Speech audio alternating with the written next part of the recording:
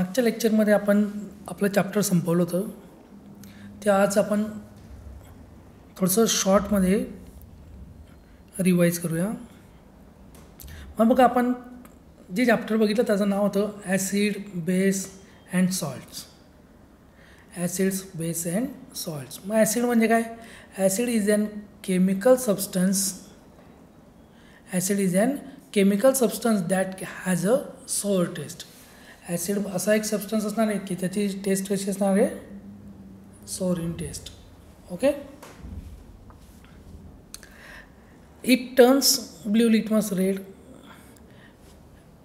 it is corrosive in nature and it donate H plus ion in a aqueous solution okay it may be organic or inorganic in nature मग uses बघूया आपण. Use as a food preservative use in a manufacturing of fertilisers as a laboratory reagent okay मग आपण बेसेससुद्धा बघितलं होतं. Base is the chemical substance which has a bitter taste Kadu taste असणार त्याची. Turns red litmus blue ॲसिडचे opposite are soapy in touch water soluble bases called as alkali and bases donate O H minus ions okay हे सर्व आपण डिटेलमध्ये बघितलेलं आहे. ठीक आहे?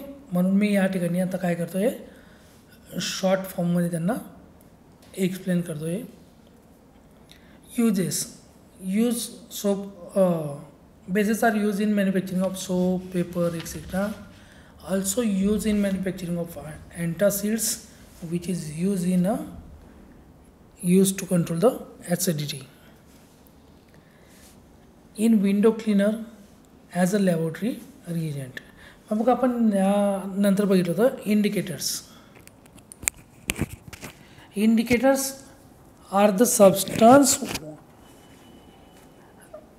that can determine whether the substance is acidic or base indicator असा substance असणार आहे की ज्याला आपण ते जे दिलेलं सोल्युशन आहे त्यामध्ये जर आपण ॲड केलं तर त्या ठिकाणी तो जो सबस्ट इंडिकेटर आहे तो कलर काय करणार आहे? चेंज करणार आहे. बरोबर? ॲसिड असला तर वेगळा कलर शो करेल. बेस असला तर वेगळा. मग आपण नॅचरल इंडिकेटर बघितलं होते मग नॅचरल इंडिकेटर कुठले कुठले बघितले होते पहिले बघितलं होतं आपण लिटमस मग लिटमस जर ॲसिडमध्ये आपण जर डीप केला लिटमस पेपर तर ब्ल्यू लिटमस रेड होतो. बरोबर? आणि जर बेस असला तर रेड लिटमस त्या ठिकाणी ब्ल्यू होतो.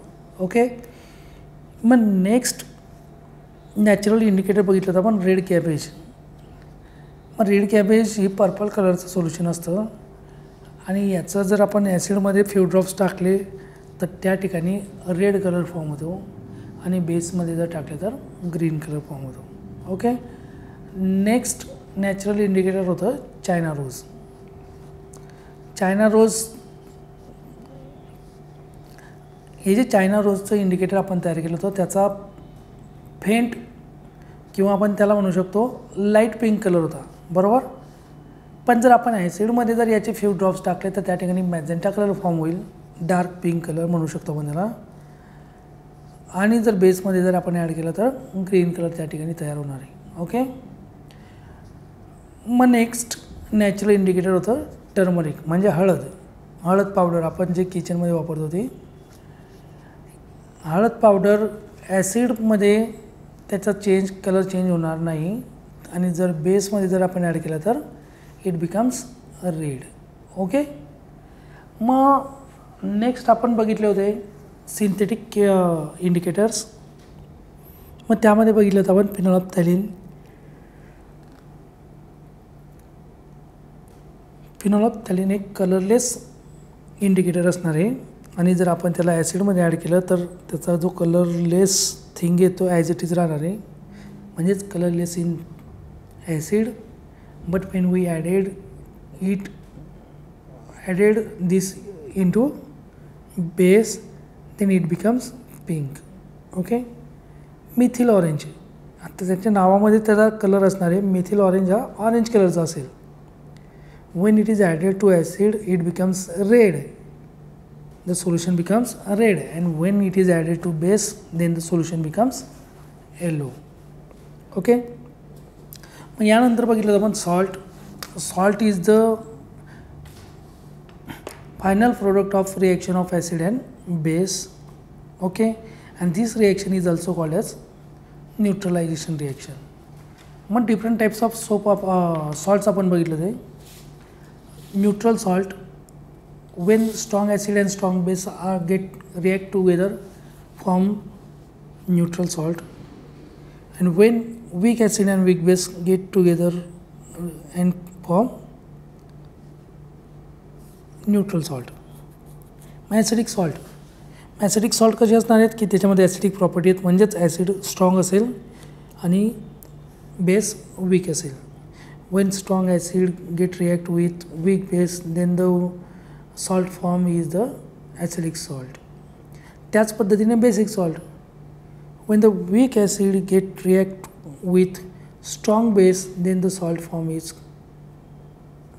basic salt okay मग नंतरची रिॲक्शन आपण बघितली होती न्यूट्रलायझेशन मग ही जी रिॲक्शन आहे ज्यामध्ये सॉल्ट तयार होतं त्या रिॲक्शनला न्यूट्रलायझेशन रिॲक्शन असं म्हणतात. मग या रिॲक्शनमध्ये काय करणार आहेत आपण? ॲसिड आणि बेसची रिॲक्शन घडवून आणणार आहोत. मग त्या ठिकाणी हे जे दोघं ॲसिड आणि बेस आहेत हे एकमेकांची ॲक्टिव्हिटी काय करतील?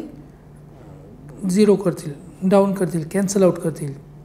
म्हणून या रिॲक्शनला म्हटलं जातं neutralisation reaction okay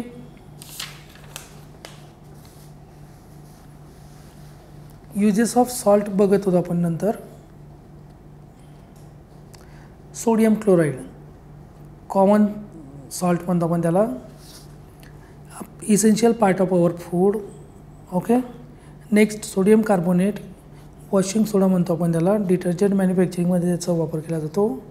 sodium bicarbonate baking soda कुकिंगमध्ये याचा वापर केला जातो. Copper sulphate it is use as a fungicide आणि इलेक्ट्रोप्लेटिंगमध्ये सुद्धा वापरला जातो. मग इलेक्ट्रोप्लेटिंग म्हणजे काय माहिती ना तुम्हाला? कुठल्याही वस्तूवर जर सॉरी कुठल्याही मेटलवर जर दुसऱ्या कुठल्या वस्तूचा जर आपण लेअर त्याच्यावर फॉर्म केला तर त्याला इलेक्ट्रोप्लेटिंग असे म्हणतात. एक्झाम्पल सिल्वर ऑर्नमेंट म्हणजे चांदीचे दागिने. चांदीचे दागिने हे सोन्याचे दिसायला पाहिजेत म्हणून त्याच्यावर काय केलं जातात? सोन्याची पॉलिश केली जाते. This is nothing but electroplating okay do you know soap is manufacture by reaction of oils and alkalis oil आणि अल्कलीची रिॲक्शन जेव्हा घडवून आणली जाते त्या ठिकाणी सोप तयार होतो. आणि हा जो सोप असणार तो लिक्विड फॉर्ममध्ये असतो. मग त्यामध्ये जर आपण कॉमन सॉल्ट ॲड करून त्याला जर स्टीर केलं तर त्या ठिकाणी सोप हा सॉलिडिफाय होतं आणि या कंडिशनला म्हणतात या प्रोसेसला म्हणतात सॉल्टिंग ऑफ सोप मग वॉटर ऑफ क्रिस्टलायझेशन बघितलं होतं. या ठिकाणी हे जे वॉटर मॉलिक्यूल दाखवले आहेत मी यांचा fix number of water molecule असणार आहे त्यांच्यामध्ये. आणि त्यांना वॉटर ऑफ क्रिस्टलायझेशन म्हणतात. आणि याला जर तापवलं वॉटर ऑफ क्रिस्टलायझेशन म्हणतात आणि वॉटर प्रेझेंट असलं तर त्याला हायड्रेटेड सॉल्ट म्हणतात. आणि जर हायड्रेटेड सॉल्टला जर आपण हीट केलं तर वॉटर निघून जातं. मग त्याला अनहायड्रेट सॉल्ट असं म्हणतात. ओके? जर एखादं सॉल्ट आपण जर उघड्यावर ठेवलं आणि त्याने जर मॉइश्चर ॲब्सॉर्ब केलं ठीक आहे? ॲटमॉस्फेरिक मॉइश्चर ॲब्सॉर्ब केलं तर त्याला डेलिक्विशंट सॉल्ट म्हणतात. ओके? आणि जर एखादं सॉल्ट जर वेपराईज झालं त्याच्यामधलं वॉटर जर वेपराईज झालं तर त्याला इफ्लोरन्सच सॉल्ट असे म्हणतात. मग आज आपण आपलं नवीन चॅप्टर सुरू करतो आहे आणि आपल्या नवीन चॅप्टरचं नाव आहे physical and chemical changes physical and chemical changes मग चेंजेस हे भरपूर प्रकारात असतात. चेंजेस हे भरपूर प्रकारामध्ये आपण बघतो. ठीक आहे? आपल्या सराउंडिंगला भरपूर सारे चेंजेस दैनंदिन जीवनात घडतात. आणि ते वेरियस टाईप्स ऑफ चेंजेस असतात. बरोबर? फॉर एक्झाम्पल कलर चेंजेस आता सध्या आंब्यांचा सीझन आहे. मग आंबे रॉ मँगो रॉ मँगोचा कलर कसा असतो? ग्रीन कलर बरोबर? मग रॉ मँगो जेव्हा पिकतो बरोबर? मग त्या ठिकाणी त्याचं काय झालं? कलरेशन झालं. कलर चेंज इन कलर झाला. बरोबर? ग्रीनचा काय झाला? येलो कलर झाला. This is also physical change म्हणजे चेंज ऑफ कलरसुद्धा काय झाला? फिजिकल चेंज झाला. Change of state also physical change अशा पद्धतीच्या व्हेरियस चेंजेस हे फिजिकल चेंजेसमध्ये येणार आहेत. मग बघूया आपण. Various changes takes place around us at all the time. And these changes can be divided into different types depending upon the nature of change taking place. And the changes are maybe मग हे changes कसे असू शकतात slow और fast may be desirable or undesirable may be periodic or non periodic etcetera मग बघा, या, हे जे फ़िज़िकल चेंजेस आहेत, हे भरपूर साऱ्या प्रकारचे असणार आहेत. And these are broadly of two types these are broadly of two types these changes are broadly of two types मग कुठले असणार आहे ते the two types are physical change and chemical change कोणते प्रकार असणार आहे त्यांचे physical change and chemical change okay तर मग बघूया आपण physical change the changes in which a substance undergoes change in its prop physical properties are called as physical change. मग असे चेंजेस की ज्यामध्ये एखाद्या सबस्टन्सच्या फिजिकल प्रॉपर्टी बदलत आहेत त्या चेंजेसला आपण म्हणणार आहोत फिजिकल चेंज मग फिजिकल प्रॉपर्टी कुठल्या असणार आहेत? Shape size colour state etcetera जर एखाद्या वस्तूचा जर शेप बदलला म्हणजे त्याला आपण म्हणावं फिजिकल स्टेट फिजिकल चेंज जर साईज बदलली also called as physical change colour change झाला रॉ मँगोपासून रिफंड मँगो झाला. कलर चेंज स्टेट बदलली. आईसपासून वॉटर तयार झालं. लिक्विड फिजिकल चेंज बरोबर? मग ती changes are may be reversible and irreversible these changes are may be reversible or irreversible मग बघूया आपण. A reversible change can be easily reverse by removing the cause of change while and irreversible change can not be back. Back जर reversible change असला जर reversible change असला it can be easily rev reverse by removing the cause of change ज्याच्यामुळे बदल घडून आहे तो force जर आपण काय केला रिमूव्ह केला तर हा जो रिव्हर्सिबल चेंज आहे हा काय होईल मग? रिव्हर्स होईल. पण जर इरिव्हर्सिबल चेंज असला तर तो मात्र आपण रिव्हर्ट करू शकत नाही. ओके मग reversible change irreversible change example बर्फ बर्फापासून पाणी तयार झालं. बरोबर? पण पाण्यापासून आपण बर्फ तयार करू शकतो का? तर हो.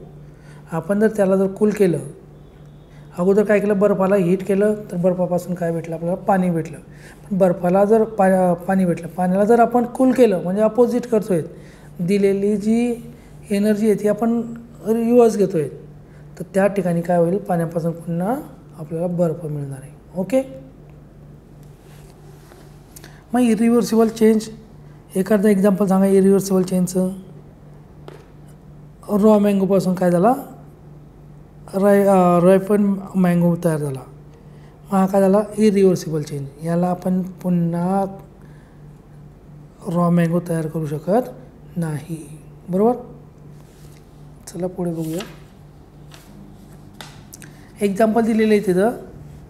Melting of ice dissolution of sugar or salt in water drying of clothes sublimation of camphor etcetera these are reversible physical changes हे काय होणार आहेत? रिव्हर्सिबल आहेत. बघा मेल्टिंग ऑफ आईस मेल्ट होतो आहे मग मेल्टिंग प्रोसेस आपण रिव्हर्स पण करू शकतो. म्हणजे लिक्विडपासून पुन्हा आईस मिळवू शकतो. डिझोल्युशन ऑफ शुगर साखर आपण पाण्यात काय करतो विरघळवतो आहे पण याच प्रोसेसला आपण रिपीटसुद्धा करू शकतो. मग रिपीट कसं करणार आहेत? बाय फॉर्मेशन ऑफ क्रिस्टलायझेशन त्याला क्रिस्टल आउट करू। ड्राईंग ऑफ क्लोथ्स कपडे सुकत आहेत मग त्याला आपण आपण ओले पण करू शकतो ना? सबलिमेशन ऑफ कॅम्फर म्हणजे काय? कॅम्फरचं कन्वर्जन कशात होतं आहे गॅसमध्ये त्याला आपण पुन्हा कॅम्फरमध्ये सॉलिड फॉर्ममध्ये कन्वर्ट करू शकतो. दर व these are called as reversible physical changes मग आता आपण बघणार आहोत इरिव्हर्सिबल फिजिकल चेंजेस बघूया मग. टिअरिंग ऑफ पेपर कागद फाडला तो पुन्हा आपण जॉईंट करू शकतो का? नाही. ब्रेकिंग ऑफ ग्लास ग्लास काचेचं एखादं भांडं आपल्याकडनं फुटलं ते पुन्हा आपल्याला जोडता येईल का? देणं ग्रोथ ऑफ प्लांट्स एकदा की प्लांट वाढलं ते पुन्हा लहान करता येईल का आपल्याला? नाही. Weathering of rocks etcetera these are the irreversible physical changes या काय आहेत? इरिव्हर्सिबल फिजिकल चेंजेस आहेत. बरोबर? मग आता आपण बघणार आहोत characteristic of physical changes physical चेंजेसचे काही कॅरेक्टरिस्टिक आपण या ठिकाणी बघणार आहोत. ओके मग बघूया. First no new substance is form during the physical change जेव्हा फिजिकल चेंज घडून येणार आहे तर त्या ठिकाणी नवीन सबस्टन्स हा तयार होणार नाही. Okay next the properties of substance remain same even if the physical state is change एखाद्या सबस्टन्सची जर फिजिकल स्टेट चेंज होते तर त्या ठिकाणी त्याच्या फिजिकल प्रॉपर्टीज ह्या काय होणार आहेत? रिमेन्स अनचेंज त्या मात्र बदलणार नाहीत okay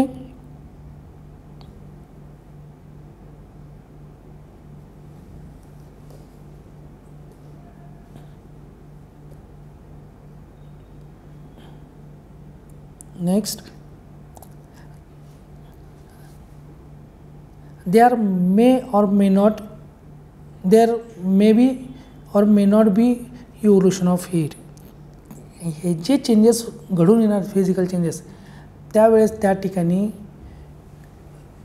हीट ही इमिट किंवा ॲब्सॉर्ब केली जाणार नाही. Properties like appearance texture smell etcetera may change म्हणजेच काय? अशा प्रॉपर्टी लाईक अ ॲपियरन्स ॲपियरन्स म्हणजे काय? लुकिंग त्याचं लुकिंग चेंज होऊ शकतो. टेक्चर टेक्चर म्हणजे काय? त्याचं पोत बदलू शकतं. कलर रंग बदलू शकतात. स्मेल रॉ मँगोचा स्मेल वेगळा आणि रायफल मँगोचा स्मेल वेगळा असतो. बरोबर? म्हणजे स्मेल पण चेंज होऊ शकतो. These are the change in physical properties a physical change is generally reversible and the things can get back to their original form after the change physical change काय असणार आहे? Generally it is a reversible change आणि यामध्ये काय होणार आहे? त्याच्या ज्या ओरिजिनल प्रॉपर्टी आहेत त्या आपण रिगेन करू शकतो. Okay chemical properties of substance do not changes मग बघा जेव्हा फिजिकल चेंज घडून येतो त्यावेळेस त्याचे जे केमिकल प्रॉपर्टी मात्र बदलत नाहीत. इफ बदलत नाहीच okay physical change can lead to change in physical state of a substance physical change घडून येणं म्हणजे काय? त्या त्याची फिजिकल स्टेट त्यामध्ये घडू बदल घडू शकतो. म्हणजे पाणी पाण्यापासून बर्फ तयार झाला फिजिकल चेंज बर्फापासून पाण्यापासून वाफ तयार झाली it is also physical change example water can be change from liquid to gas or to solid solid state but there is no change in chemical properties बघा पाण्याचे काय झाले? स्टेट बदलते. पण त्याचे केमिकल प्रॉपर्टीज मात्र बदलणार नाहीत. केमिकल स्ट्रक्चर त्याचं बदलणार नाही. ओके केमिकल चेंजेस बघूया आता आपण. या ठिकाणी फिजिकल चेंजेस आटोपलेत आपले. आता केमिकल चेंजेस बघूया. chemical change the change in which a new substance is form which has a totally different properties than the original substance and are called as chemical change example दुधाचं रूपांतर दह्यात करणे काय झालं chemical change झाला बरोबर नवीन substance तयार होऊन गेला तिथं दुधापासून दही तयार झालं characteristic of chemical change Chemical changes are usually irreversible and the original substance cannot be re- recovered in most of cases. Chemical change जर घडून आला तर त्या केमिकल चेंजमध्ये आपण त्याला रिव्हर्स करू शकत नाही. रिव्हर्स करू शकत नाही म्हणजे त्याचा जो रिॲक्टंट आहे तो प्रोडक्टपासून आपण रिॲक्टंट मिळवू शकत नाही. ओके एक्झाम्पल दुधाचं रूपांतर दह्यात. मग दह्यापासून दूध तयार करू शकतो का? नाही. रॉ मँगो झाला? कच्चा आंबा काय झाला? पिकला. मग पिकलेल्या आंबापासून कच्चा आंबा तयार करू शकतो का? नाही. म्हणजे हा झाला? केमिकल चेंज बरोबर?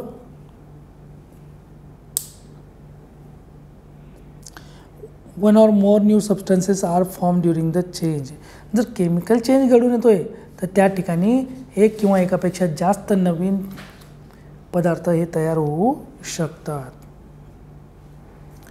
Next new substance have different properties from the original substance या ठिकाणी केमिकल चेंज घडून येताना जो नवीन पदार्थ तयार होतो त्या पदार्थाच्या प्रॉपर्टीज ह्या त्याच्या पॅरेंटल जो सबस्टन्स असणार आहे त्याच्यापेक्षा कशा असणार आहेत?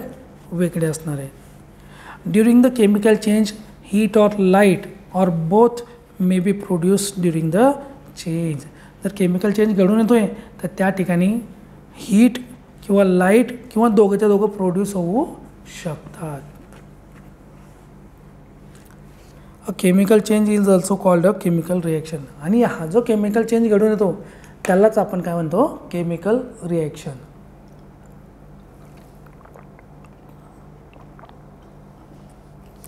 rusting of iron लोखंडाचं गंजणं बर्निंग ऑफ सबस्टन्स एखाद्या पदार्थाला जाळणं कुकिंग ऑफ फूड स्वयंपाक करणं etcetera are the example of chemical changes these are the chemical changes okay browning of surface of fruits when cut is also chemical change मग बघा browning of surface of fruits सफरचंद कापलं आणि कापून जर आपण त्याला ॲज इट इज जर ठेवलं तर त्या ठिकाणी काय होतं? ब्राऊन कलरचा लेअर तयार होतो त्याच्या ॲपलवर सफरचंदवर मग तो कशामुळे होतो?